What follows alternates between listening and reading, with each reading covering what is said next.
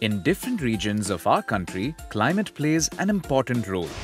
Let's understand a few things about climate and construction. In hot and dry regions, sunlight heats up the home. Painting the roof plaster with heat reflective paint can help you lower heat absorption. The main door should face the north-south direction. To avoid excess sunlight, avoid building doors and windows facing west.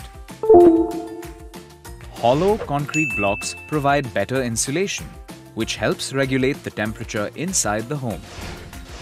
Remember to plan the ventilation and cross ventilation system carefully.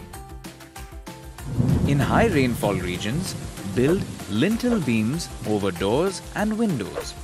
Design a sloping roof so that water washes away easily. And remember to waterproof your home structure. In cold regions, build the doors and windows in the north and west to let warm sunlight into your home. Use good insulating material while constructing windows, doors and flooring. These were a few tips on building a home in different climatic conditions.